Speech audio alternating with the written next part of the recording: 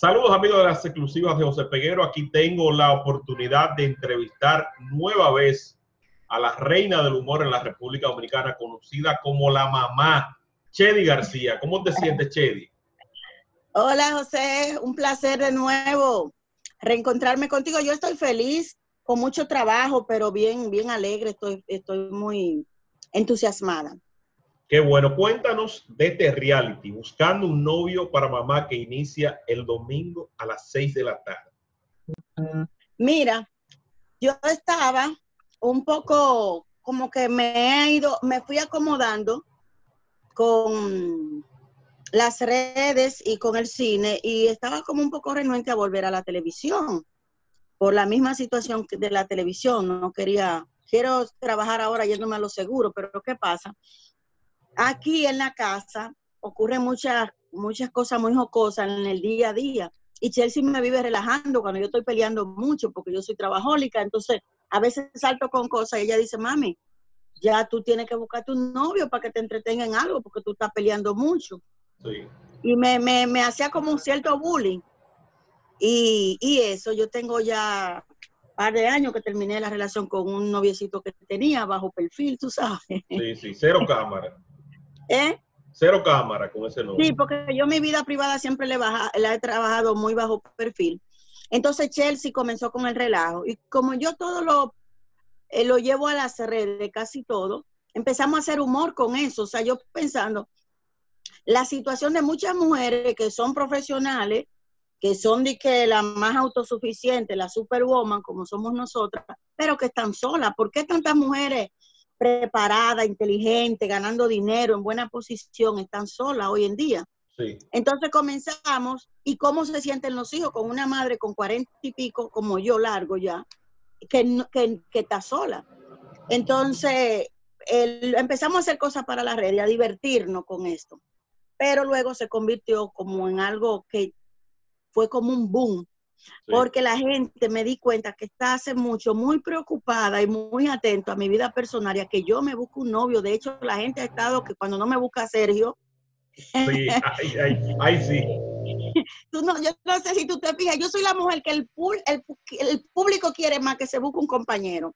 Mamá que Sergio, mamá que Martínez Brito es el suyo, mamá que un menor no, mamá que un viejo no, mamá. Entonces viven dando mis opiniones de cuál es el hombre que yo necesito.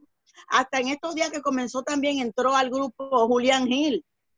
Ha estado, en una época estuvo Robertico, o sea, siempre la gente ha estado como en ese dilema de saber quién es mi pareja, con quién yo estoy, es verdad que tú estás con Robertico, es verdad que tú estás... Y entonces... Pero de, esos, de este esos famosos, primero me responde esa parte. Y luego entonces me dice, de esos famosos, ¿cuál a ti te gustaba? De, de los famosos. Sí. A mí me gustan toditos. Qué lío. no, yo te voy a decir por qué. Cuando yo te digo que me gustan toditos, es que cada hombre para mí tiene su nivel de encanto, porque por ejemplo, Robert, eh, yo lo digo relajando, pero detrás de cada relajo hay una verdad. Es posible que a mí en el fondo me haya gustado Robertico y le quisiera yo dar en, en el pasado quizás hasta su fuetazo, pero eso nunca se dio. Sí. Eh, Tú nunca lo llegaste en un camerino, Robertico. O sea, que no, no, no tuve el deseo de agarrarle su, esa boca ese tanque que él tiene y chulearlo, pero nunca se dio porque él me respeta mucho y esa es la vaina, que me respetan demasiado. Entonces yo a veces me veo desesperada. Entonces el mismo Sergio tiene su vainita. ¿No te gusta Sergio? Porque Sergio se, se ha eh, notado interesado en ti. Sergio es un poco brusco pero yo sé que hay como una cosita, un fueguito, ¿tú ves? Sí. Entonces, como yo te digo, dentro de cada relajo hay un nivel de verdad. Por ejemplo, Martínez Brito es un hombre encantador, un caballero, un tipo con un perfil muy correcto, pero esos hombres así, tú sabes que a veces nada más pantalla, son unos tiguerazos. Sí. pero también es un lío, mamá, porque tú no lo quieres muy palomo. Eh, tiene que ser un equilibrio, porque no puede ser demasiado tigre, que yo me quede atrás, pero tampoco demasiado pariguayo, que yo le dé su pecosá, porque yo tengo un temperamento fuerte. Sí.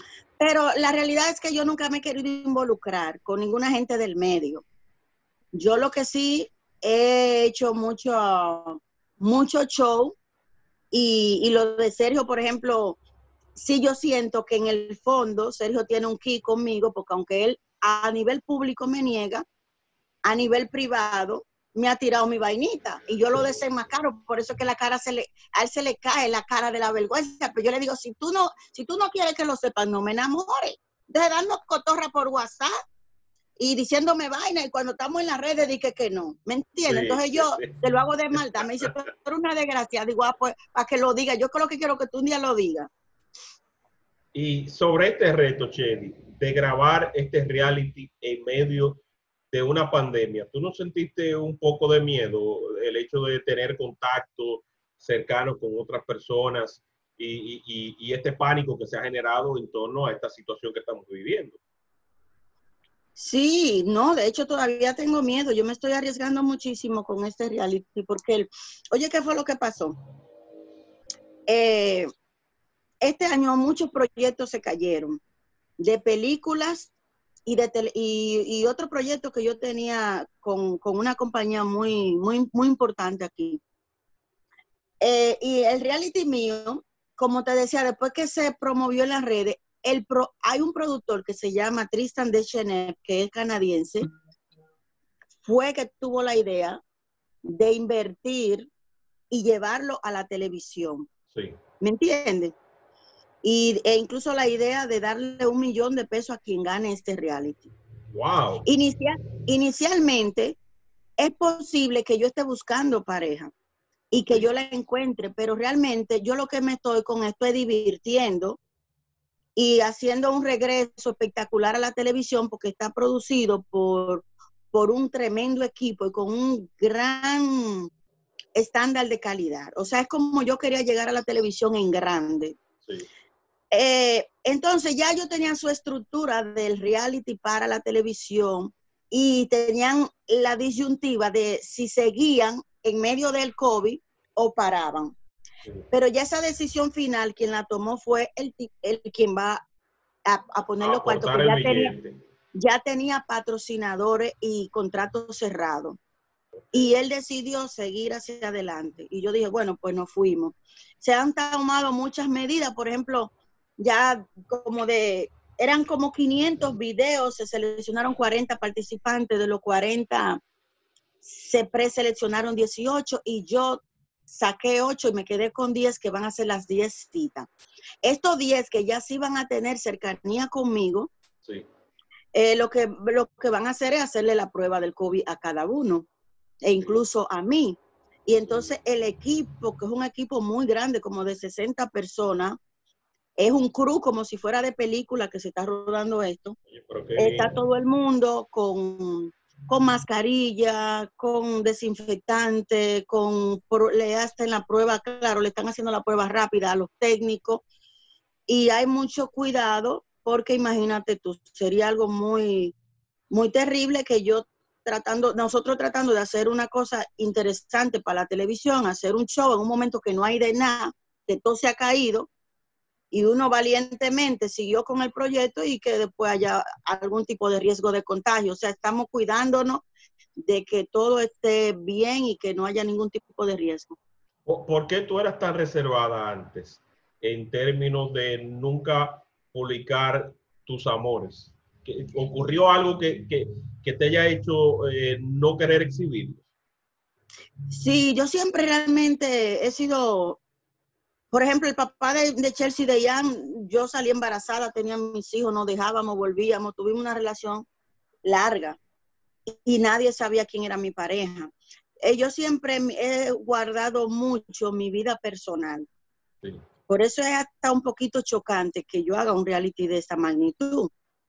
Pero acuérdate que yo soy eh, me gusta eh, eh, todo este tipo de show, de espectáculo, de entretenimiento y eso es, esa es mi carrera. Pero ya a nivel personal, sí, yo siempre he sido muy cuidadosa. Por ejemplo, yo tenía un novio que duramos seis años y se especulaba que esto, que lo otro, pero nunca nadie supo quién fue. Tú sabes. Entonces yo voy distrayendo a la gente. Cuando viene a ver, el que la gente me, me está diciendo no es y trato de distraer a la gente y además que casi siempre mis relaciones, o no casi siempre, siempre mis relaciones han sido fuera de los medios paranduleros. Sí. Mi pareja yo no me la busco dentro del medio artístico, por eso es que es difícil saber con quién yo estoy. Porque tú le tienes miedo a la lengua de la farándula. Sí, me cuido mucho de la lengua, de la envidia. Ya comienza la gente a hacer comparaciones, ya o yo no me lo merezco a él o él no me merece a mí. Ya las mujeres comienzan a seguir al tipo para enamorarlo, porque no hay vaina que guste más que un, un marido o un novio de un artista. Sí. ¿Te han quitado un novio? Eh, no, si tú supieras que no, ya, eh, modestia aparte, las relaciones que yo he tenido han sido largas, han sido estables. Y a veces he comenzado incluso algunas relaciones relajando y hemos, hemos terminado siempre muy enamorados, mi pareja y yo. Eh, pero no, no me han quitado novio, para nada. ni tú le has quitado novio a nadie. No, yo sería incapaz. Acuérdate que yo soy, o sea, yo soy pro mujer y nada que atente contra la la paz y la tranquilidad de una mujer, yo sería capaz de hacerlo, ¿me entiendes? Porque es que yo, cuando, cuando pienso en la mujer, pienso en una hermana, pienso en mi madre, pienso en mí, y no, ese tipo de cosas yo no la hago. ¿Y cómo tú te harás entonces, Chedi, eh, con esos 10 seleccionados? Cuando en algún momento dado, me imagino que tiene que haber besos, eh, qué sé yo, uno que, uno que otro contacto, algo donde tú tengas que probar esos hombres porque todos deben someterse a una prueba de fuego. Eso va a estar muy fuerte porque cuando a mí me prenden una cámara yo voto el tino. Sí. Entonces, la Chedi cuidadosa en el aspecto amoroso no es la Chedi que van a ver en el show. Va a ser una Chedi agresiva en el amor porque, porque esto es un show. Entonces ahí puede pasar cualquier cosa. yo soy loca y ejerzo 24 horas sin pausa.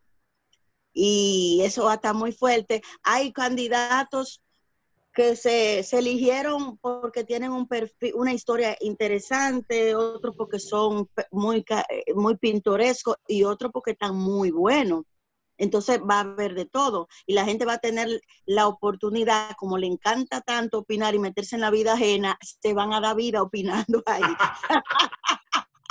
le vamos a dar carne al pueblo para que puedan hablar, acabar con esto, destruir aquel, acabarme a mí. O sea, es un reality para que el pueblo opine, se meta, eh, eh, diga, quite, ponga. O sea, es un reality que necesita obligatoriamente la interacción de la gente. Por eso es tan importante que a partir de este domingo 2 de agosto, la gente esté conectada en Color Visión a las 6 de la tarde con el reality, porque de ahí se va a desprender todo lo que queremos y es que la gente participe en el proceso de selección. Que me ayuden a elegir. Que te ayuden a elegir. O sea, tú vas a someter cada candidato a una observación en las redes sociales para que te digan cuál es el que va a estar eh, en una mejor posición. Exacto, exacto, porque a veces yo puedo incluso estar confundida porque me gusta más uno, pero el otro eh, tiene una, unos mejores, eh, un mejor perfil, tú sabes. Ahora sí quiero dejar claro este punto. Como yo siempre he sido muy pro mujer y siempre he estado en defensa de, de todo lo que tiene que ver con la mujer, en estos días me escribió una feminista y me insultó. Ay Dios. Porque tú sabes que hay hay feministas que se van al extremo y en vez de buscar, buscar la unión y la equidad y el empoderamiento de la mujer, lo que comienzan es a, a maltratar la figura del hombre.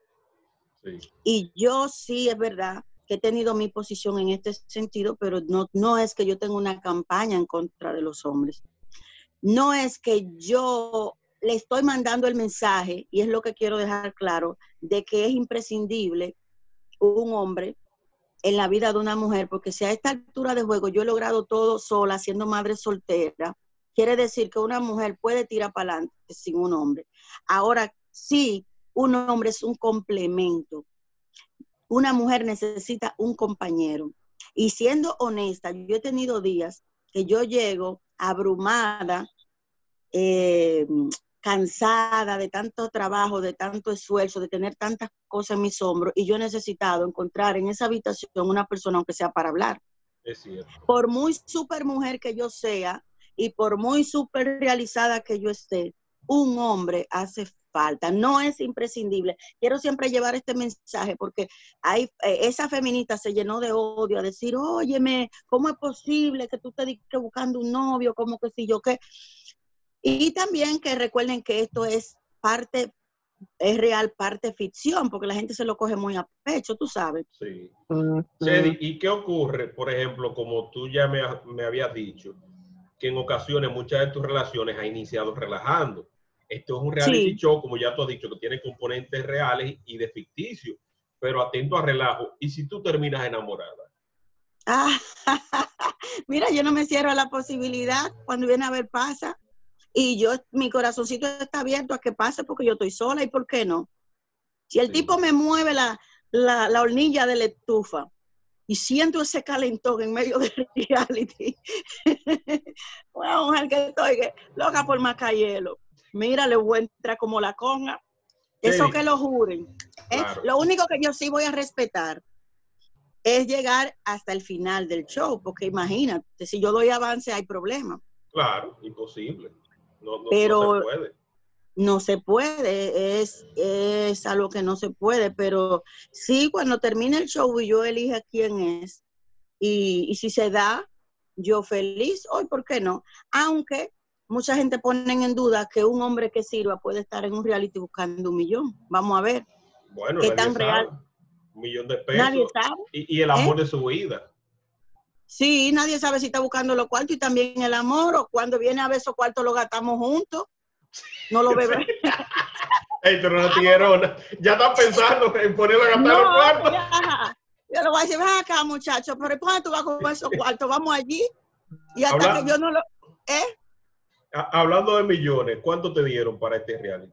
Ah, eso sí no te puedo decir.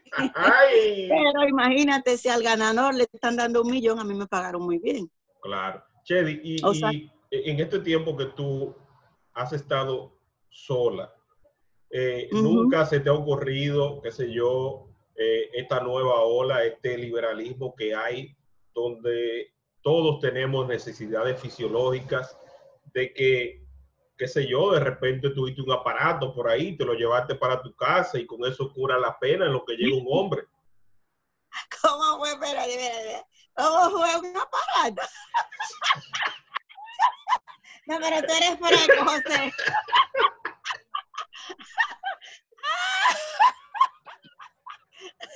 Yo tengo uno que ya yo le puse hasta un anillo, que ese es mi marido. ¿Y cómo lo bautizaste? Porque ¿Cómo lo bautizaste? no, pues, no, déjame decirte que e, eso es normal que uno busque su ayudita porque no es fácil, José. Bueno, tú sabes que en estos días yo tenía, yo me fui en llanto contigo, se me metió una melancolía y realmente yo no soy así, yo no, y yo dije, oh, pero yo estaba demasiado sensible, es que es normal, porque hay un día que uno explota. Y por ejemplo, ese día que me tocó hablar contigo, que te agradecí mucho que me escuchara, yo exploté. Y después me dio un chin de vergüencita, lo digo a nivel público, pero yo soy un ser humano, entonces así también pasa, pasa con, con, la parte sexual. Hay un momento en que sí, que hay que ayudarse, hay que ayudarse. Fuera de relajo, hay que ayudarse. Y yo me ayudo. Eso es normal, porque... ¿eh? Te cambia, te cambia el humor. Eh, antes o después. Después de... Ay, José, no me. Sí, me pongo mejor, en el mejor estado. y me cambia la sonrisa. Yo tengo, yo tengo una cuando yo estoy, cuando yo estoy así, como en melancolía, y además que todas mis hermanas son cristianas, pero tienen su marido, esas mujeres están gozando más que yo. Oye, me están aseguradas contra incendios.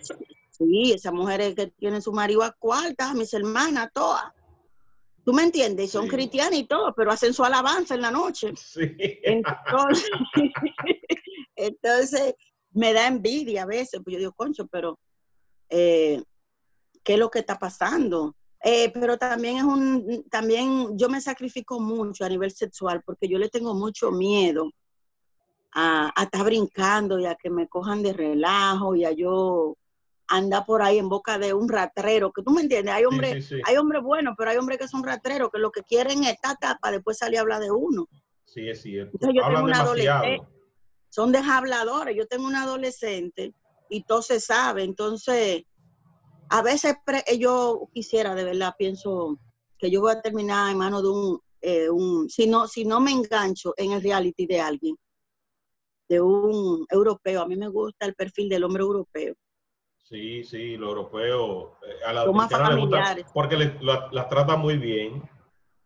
Son delicados, son románticos, son familiares, eso es lo que yo estoy buscando. Son respetuosos. No voy a decir que todo, pero sí. Yo tenía un enamorado extranjero y era así, por eso te lo digo. Oye, qué bueno. Chedi, ¿tú nunca tuviste nada con el boli? No, no, no. Realmente no. Ese, ese la va a acabar, yo no relajo, yo me iba a tratar yo no me podía, oye, yo no me podía atrasar el boli, el boli, la mujer que está con el boli se azara. Yo conozco cinco, las cinco están azaradas. Sí. Yo no sé qué. Él echa para adelante, pero la mujer que le hace coro se azara. Se atrasa. Ay, Dios. Sí, se atrasa, entonces no, realmente no. Chedi, pero sí te voy a decir, sí te voy a decir que así como tú me ves, yo soy una mujer que he tenido muchas propuestas pero que han sido propuestas sexuales, no propuestas de hacer una, eh, yo digo dentro de la farándula. ¿Se te tiran del medio? Ay, yo no sé qué vaina, ¿eh? Tú sabes que yo soy la, la, la J-Lo dominicana, la única mujer que comida tiene ese cuerpazo. Sí. Es cierto. Sí, no, no, yo me la, no, que no, lo digas con duda, yo me la rifo a todas. Es verdad, es verdad, es verdad. Eh, lo que pasa es que aquí no quieren, no quieren reconocer esa vaina. Pero yo me la rifo a todas. Tú la encueras toda y tú me encueras a mí. Y, y, tú, y tú lo sabes. Y, no, está, y no está macheteada. No estoy macheteada. Entonces esas mujeres parecen allá que el destripador cuando tú le quitas la ropa, por tu aparte. Sí. Y eso, eso ha causado como un morbo que muchos hombres dicen, wow, ¿qué es lo que tiene esta tipa que con esa edad se mantiene así? Yo hago ejercicio, yo como muy saludable y mi contextura es buena porque mi familia todita, esas, esas hermanas mías toditas tienen cuerpazo. Se ven bien. Mira, Chedi, ¿y cuál es tu evaluación de la televisión dominicana y la radio en este momento, producto de la situación de la pandemia? ¿Qué futuro tú le ves? Bueno, si, si aquí no se aprueba una ley de subsidio, principalmente para la televisión, porque en la radio tú no tienes que hacer grandes, grandes inversiones, tú sabes. Sí. Pero principalmente para la televisión, eh, yo admiro de verdad a los que están dentro de la televisión y logran mantenerse, eso es para valientes. Y como que hay ya muchos programas, tiene que haber como un remozamiento, porque ya hay como muchos programas que han caído en decadencia porque el público le está haciendo el fo. Entonces, si el público le está haciendo el fo, hay algún problema. Yo no oigo a nadie hablando. Eh, ¿qué diablo? ¿Viste tal programa? ¡Qué chulo quedó! ¿No? Para yo ver, la gente ve los pedacitos que suben a, las redes, de lo mismo, en las promociones. Sí, o sea, hay programas que tú sabes de qué tratan, porque tú viste la promoción en Instagram, pero, tú nunca... ¿Me entiendes bien? Y eso es grave. Eso es grave. Entonces yo admiro y respeto a todos los que están ahora mismo echando la pelea. Yo voy de forma efímera con este reality pidiéndole a Dios que tenga yo el apoyo de la gente, pero se necesita una ley de subsidio para la televisión, definitivamente. ¿Cuántas semanas va a durar el reality? El reality va a durar tres meses. Oh, qué bien. 12, semanas, 8, 12 semanas. Oh, pero súper bien, o sea, tiempo suficiente para que los anunciantes que vean el impacto, pues entonces los que no se han incluido, pues se sumen. Sí, sí, sí. Y, le ha ido bien, yo no sé si tú has visto, hay muchas vallas en la calle, la publicidad bien agresiva y, nos ha ido bien hasta ahora. Yo creo que, hemos logrado mucho dentro de, de, esta situación. O sea, eh, yo no sé cómo el productor pudo tener esa valentía de seguir adelante con el reality, porque es lo que te digo, todo el mundo echó para atrás, él, él fue un valiente y ahí, ahí estamos, echamos la pelea ya este 2 de, este domingo 2 de agosto a las 6 de la tarde por, Color, por Colorvisión. Estamos ya ready. Perfecto. Chedi, una última pregunta. ¿Qué te duele? ¿Qué es lo que más te duele de tu país, de lo que tú ves del día a día? Oh, Dios mío. ¿Qué te puedo decir? Con lo que tú te acuestas pensando, diciendo, ¿hasta cuándo, Señor, en nuestro país? Bueno, me duele. Me duele mucho el, el nivel de ignorancia que, que todavía tenemos. Por ejemplo, hoy yo venía de un pueblo que estaba de fin de semana y vi un señor que sacó la mano de un camión y tiró una funda plástica a la calle. Ay, Dios Tú sabes, a mí me duele el nivel de ignorancia cuando la gente va depredando las playas. Yo encontré una botella de cerveza en los pies míos en la playa Macao de Punta Cana este fin de semana. Oye, esa vaina. Esas son de las ¿eh? Qué desastre. Yo esa vaina, yo la sufro. Ese tipo de cosas yo las sufro. Es que la ignorancia es el peor cáncer que puede tener un país. Si estos políticos no comienzan a trabajar en educar un poquito más a este pueblo, estamos jodidos. Yo utilicé mucho mi, mis redes como para hacer humor y también como un medio de e, educativo de difundir todas esas ideas, todas esas inquietudes que yo tengo como ciudadana.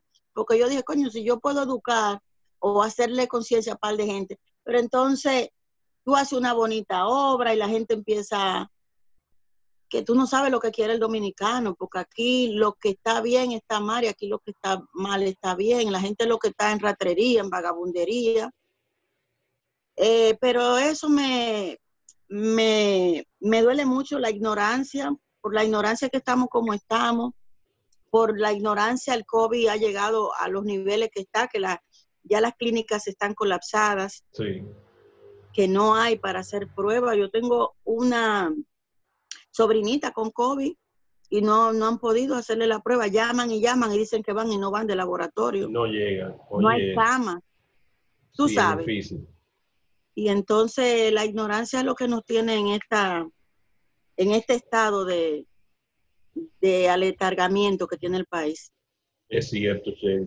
Chedi, producto de TikTok, te dije que era una última, pero con esta voy a sellar. Producto del impacto que ha tenido TikTok, las redes sociales y demás, han surgido eh, glorias del pasado que en un momento dado la gente entendía que ya eh, habían cumplido un ciclo, pero eh, producto de esa de esa exposición, de la invitación que se hace en TikTok, han vuelto de nuevo eh, a la palestra pública, como es el caso, por ejemplo, de la misma Nani Peña, incluso se han tomado videos de parecido Freddy Berragoico, de Boruga. ¿Qué te parece todo este movimiento que se está dando en las redes sociales con esas glorias del humor? A mí me encanta lo que está pasando, porque Fíjate qué cosa tan extraña. El TikTok es algo contemporáneo, pero que también recoge cosas clásicas. Y, la comedia de, la, de, esa época de Freddy, todos los comediantes que estuvieron ahí, son un clásico que siempre, los clásicos es como los, merengues de los 80, siempre van a ser agradables y bien recibidos por el pueblo, tú sabes, porque lo bueno perdura para siempre. Y eso es lo que pasa. Se murió Antonio Río y, está vivo. Desaparece un comediante de los clásicos, pero siempre está vivo. Entra a TikTok y hace un boom, porque es que lo bueno siempre va a prevalecer.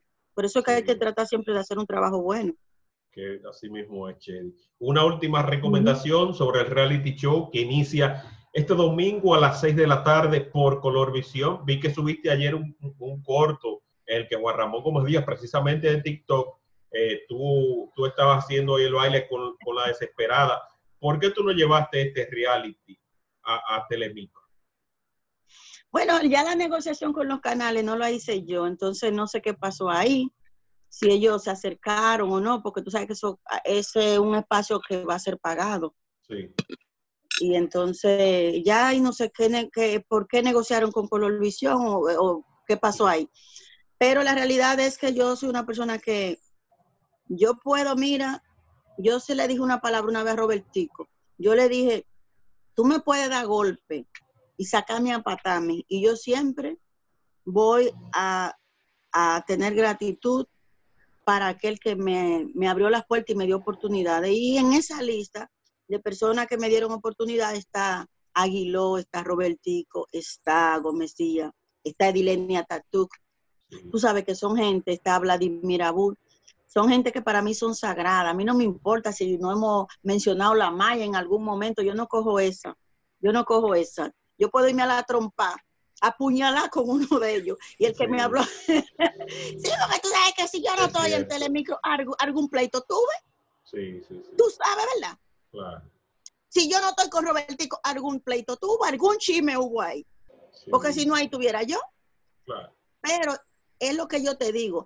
A veces la gente tiene corta memoria y yo soy muy agradecida a mí no me importa si en un momento tuvimos alguna diferencia. Y esas son gente que yo la respeto y la, y la defiendo a Hachi Machete. Y no la viendo, eso se llama gratitud. El que te da de comer no le muerda la mano. Sí, bueno, pues haz formalmente la invitación para despedir esta conversación tan agradable contigo, para que la gente desde el domingo vea el reality buscando un novio para mamá. Bueno, a toda mi gente que te sigue y que siempre está pendiente a tus exclusivas de José Peguero. te ha dado, grande, José. te conocí seco así, hasta gordo, está. bueno, la verdad, oye, los dos nos, conocimos que el moquero hacía. Abatidos. Ay, ay, ay, ay, ay. Yo a partir de este domingo 2 de agosto. No se pierdan buscando un novio a mamá, reality show que va a estar por color, por color visión a las 6 de la tarde. Hay toque de queda, o sea que la gente tiene esa, esa oportunidad y esa opción de poner a color visión a las 6 y ver mi reality. Va a durar tres meses, no se lo pierdan, va a estar súper chulo y se van a divertir un mundo y va a haber mucha controversia porque ahí va a haber fuego.